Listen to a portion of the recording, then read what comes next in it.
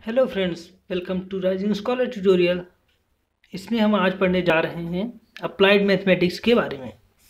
Applied mathematics one अभी हम देखते हैं मैथमेटिक्स कहाँ हो रहा है।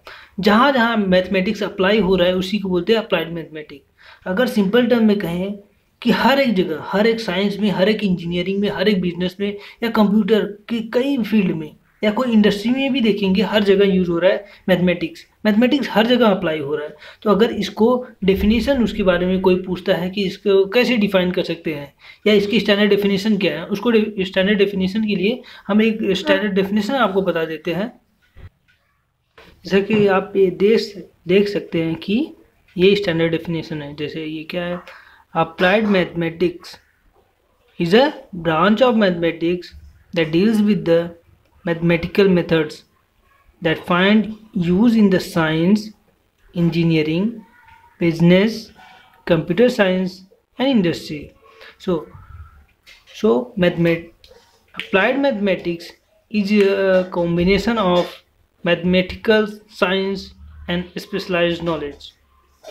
The term applied mathematics also describes the professional specialty in which mathematicians work on the practical problem by formulating and studying mathematical models. So for in applied mathematics there are many modules ये standard definition हो गया जैसे पूरे modules को कैसे study करते हैं कैसे प्रोफेशनली प्रॉब्लम्स में फॉर्मुलेट करते हैं कैसे अप्लाई करते हैं अब बेटर अंडरस्टैंड के लिए, पूरे अप्लाइड मैथमेटिक्स वन को समझने के लिए हमने अप्लाइड मैथमेटिक्स को चार अलग अलग पार्ट बोल सकते हैं मॉडल बोल सकते हैं, उसमें हमने डिवाइड किया है। जैसे कि फ़र्स्ट फ़र्स्ट हुआ successive successive differentiation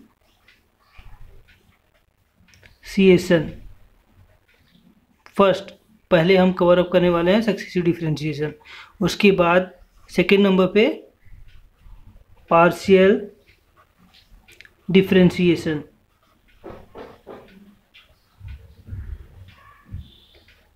third number पे matrices and fourth complex number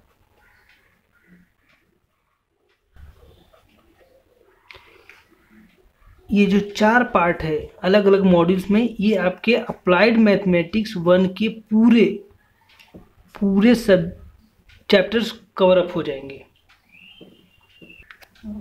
sorry ये वन अप्लाइड मैथमेटिक्स सब कवर अप हो जाएँगे। तो आपको कंटिन्यू इसको, ये चैनल को फॉलो अप करना पड़ेगा।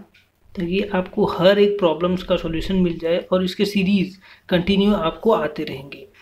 जैसे कि हम फ़र्स्ट आपको बता दिया है, पहला हम सक्सेसिव डिफ्रेंशिएशन से स्टार्ट करने वाले हैं। इसमें स्टेप बाय स्टेप कैसे फॉर्मुलेशन हो रहा है, कैसे फॉर्मूला लग रहा है, कैसे सॉल्यूशन हो रहा है, इसके टिप्स एंड ट्रिक्स आपको दिए जाएँगे कैसे आप एग्ज़ाम्स को क्रैक कर सकें। एग्ज़ाम्स में अच्छे मार्क्स गेन कर सकें। तो उसके लिए आपको हमारे चैनल को सब्सक्राइब करना पड़ेगा शेयर करना पड़ेगा लाइक करना पड़ेगा। Thank you